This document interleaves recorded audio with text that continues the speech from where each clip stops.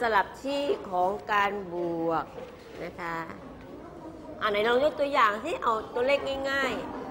ๆ อย่างเช่น1บวก2เท่ากับอะไรบวกอะไร เท่ากับ 2 อ้าว เก่งมากกรลักษณ์บอกว่า1บวก2ก็เท่ากับ2บวก1 ใช่ไหมคะตัวเลขสลับที่การตัวตั้งไปเป็นตัวบวก ตัวบวกมาเป็นตัวตั้งหน้ามาหลังหลังมาหน้าตัวเลขสลับที่กันเท่านั้นเองนะคะ ผลบวกที่ได้ก็ย่อมเป็นยังไงกันเท่ากัน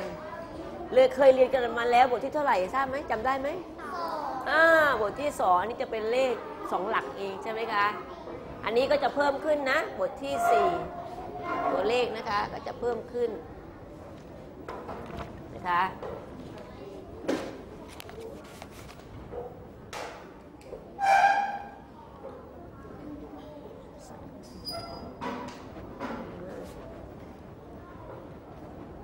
การสลับชีพของการบวกนะคะ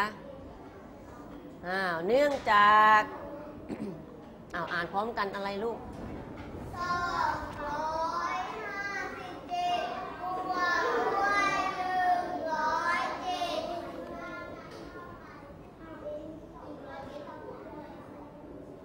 ท่ากับอะไรคะ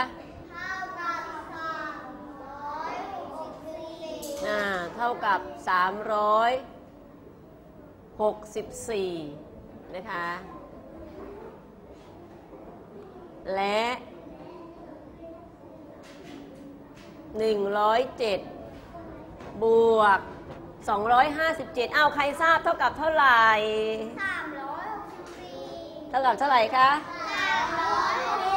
เก่งมากค่ะไหนใครว่าเท่ากับ364ตั้งแต่ที่แรกเลย โอ้โห เก่งจังเลย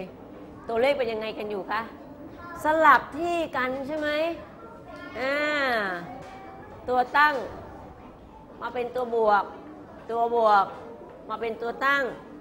ผลบวกที่ได้ย่อมเป็นยังไงกัน เท่า เท่ากันนั่นเองนะคะ อ้าว สรุปว่าดังนั้น 257 บวก 107 ก็เท่ากับ เท่ากับอะไรลูก ก็เท่ากับ 107 บวก 257 นั่นเองนะคะ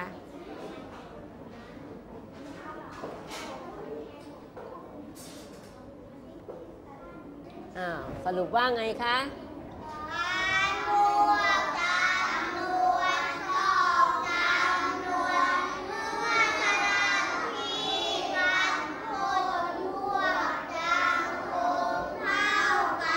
ช่ไหมคะยิรัน ถูกต้องใช่ไหมคะ นะคะ เพราะฉะนั้นสรุปว่าการบวกจำนวนสองจำนวน เมื่อสลับที่กัน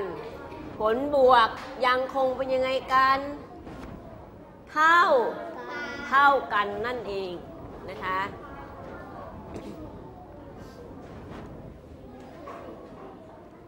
อ้าวทีนี้เรามาดูกัน แบบฝึกพร้อมหรือยังคะ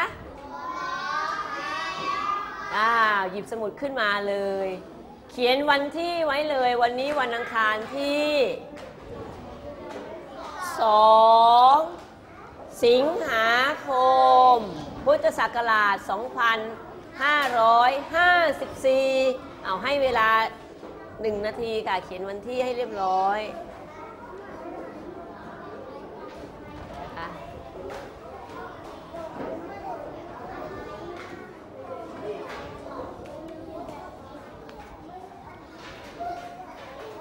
ค่ะ หนึ่งนาทีหนึ่งนาที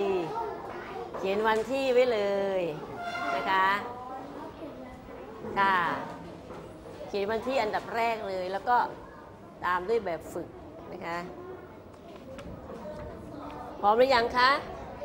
พร้อมแล้วมาดูคำสั่งเขาว่าไง ให้นักเรียนเติมตัวเลข แสดงจำนวน ลงในช่องสี่เหลี่ยม ให้ถูกต้องด้วยนะคะนักเรียน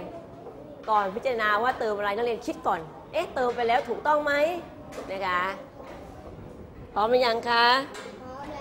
พร้อมแล้ว มาดูข้อที่หนึ่งกันเลยนะคะเอาอ่านจดพร้อมกันก่อน พร้อมกันเลยค่ะ 456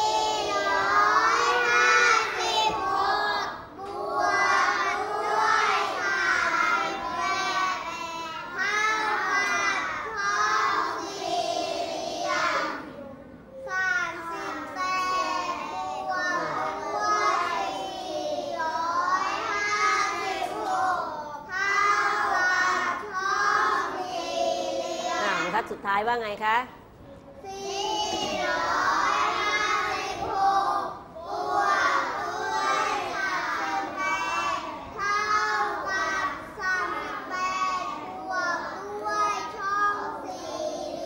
เพราะฉะนั้นนักเรียนจะเห็นว่าข้อข้อที่หนึ่งเนี่ยมีกี่บรรทัดคะสามบรรทัดอ้าวเพราะฉะนั้นนักเรียนบรรทัดที่หนึ่ง456บวก38 นักเรียนก็ต้องบวกกันใช่ไหมคะ บวกก็คือนำไปทำไมกันคะ ไปรวมกันอะเมื่อบวกได้เท่าไหร่แล้วก็นำตัวเลขที่บวกได้ไปเติมในช่องสี่เหลี่ยมบรรทัดที่หนึ่งใช่ไหมคะ อันนี้นักเรียนมาดูบรรทัดที่สองสิคะ บรรทัดที่สองนักเรียนต้องบวกอีกไหมคะ ต้องบวกอีกไหมคะอ้าวนักเรียนบอกว่าไม่ต้องบวกแล้วเพราะอะไรล่ะ เพราะอะไรคะ เพราะอันนี้เป็นการอะไรกัน เป็นการสลับที่การของการบวก ใช่ไหมคะ ผลบวกยังคงเท่ากัน เมื่อนักเรียนบวกบรรทัดที่หนึ่งแล้ว ได้แล้วคำตอบทราบแล้วบรรทัดที่สองต้องบวกอีกไหมไม่ต้องบวกแล้ว เพราะอันนี้ก็คือการสลับที่ของการบวกนั่นเองนะคะเพราะฉะนั้นบรรทัดที่สองไม่ต้องบวกแล้วบรรทัดที่หนึ่งเราบวกกันแล้วใช่ไหมคะการสลับที่ของการบวกผลบวกย่อม เท่ากัน ยังคงเท่ากันเอาลงมือเลยค่ะ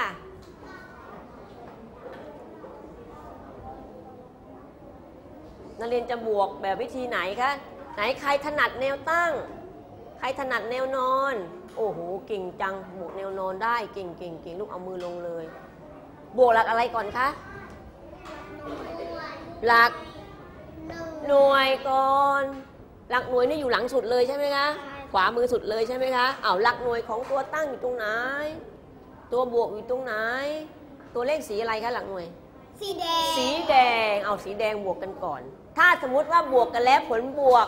ในหลักใดก็แล้วแต่เป็นเลขสองหลักต้องมีการโทดก็นำจำนวนที่ครบ 10 ไปรวมกับหลักถัดไปทางด้านซ้ายใช่ไหมคะ แต่ถ้าบวกกันแล้วผลบวกในหลักนั้นเป็นเลขหลักเดียวต้องมีการทดหรือเปล่า ไม่ ไม่มีนะคะ ถ้าบวกกันแล้วผลบวกในหลักนั้นเป็นเลขหลักเดียวไม่มีทดนะ ค่ะ จากนั้นก็บวกหลักอะไรต่อคะหลักสิบตัวเลขสีอะไร สีเขียวสีเขียวแล้วก็อย่าลืมถ้ามีทดต้องต้องบวกที่ทดด้วยใช่ไหมคะ แต่ถ้าไม่มีต้องบวกด้วยไหมไม่อ้าวไม่ต้อง ต่อไปก็บวกหลักอะไรต่อคะ หลักร้อยหลักร้อยตัวเลขสีอะไรสีน้ำเงินสีน้ำเงินน่ะสีน้ำเงินสีฟ้านั่นนะคะค่ะอ้าวลงมือปฏิบัติค่ะ บวกอย่างน้อยกี่ครั้งคะสองสองครั้งอ้าวให้รอบคอบนะคะ ไม่ต้องรีบร้อนลูกไม่ต้องแข่งกันแต่ส่วนใหญ่คนที่ทำเสร็จก่อนเพื่อนน่ะไม่ค่อยถูกหรอก ใช่ไหมเพราะว่าแข่งกันเสร็จ คนที่เสร็จทีหลังน่ะจะถูก เพราะว่าทบทวนแล้วทวนอีก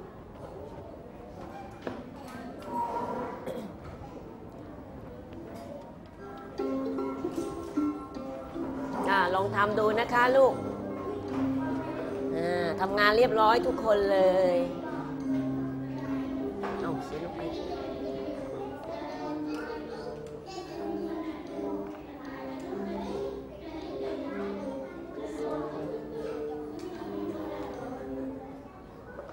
แป้ง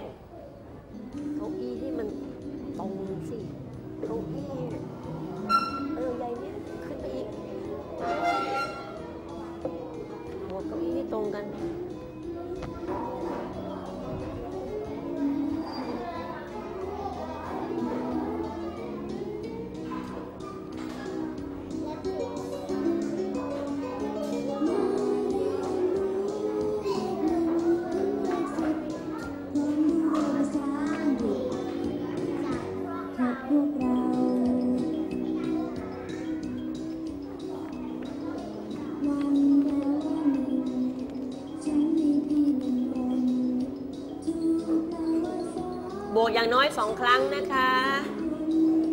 ถ้าผิดแล้วผิดเลยนะบรรทัดที่หนึ่งบวกได้เท่าไหร่แล้วบรรทัดที่สองไม่ต้องบวกแล้ว เพราะว่าเป็นการสลับที่ของการบวกนะคะ ผลบวกย่อมเท่ากัน แล้วก็มาสรุปบรรทัดที่3ด้วยนะบรรทัดที่3ก็ดูสิอะไรที่มันที่เราที่ขาดไปล่ะ อ้าว ที่หายไป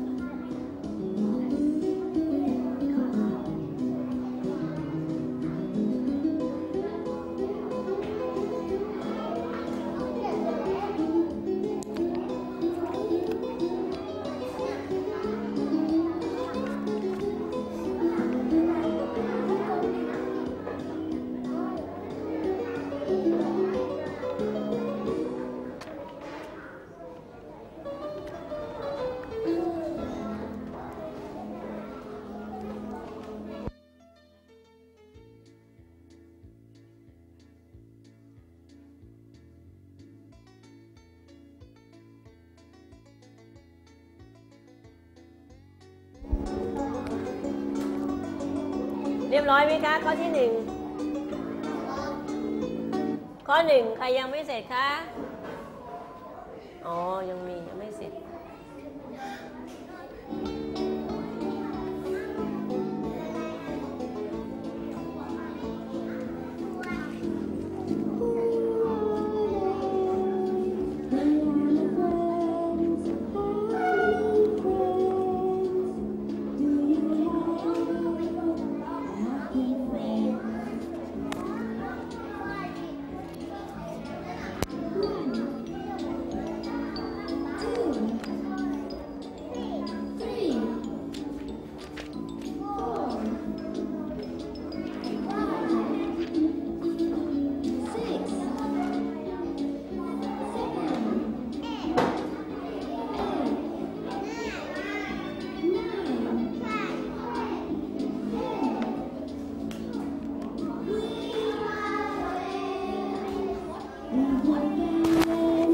ไม่เสร็จต่อไปข้อ2นะคะ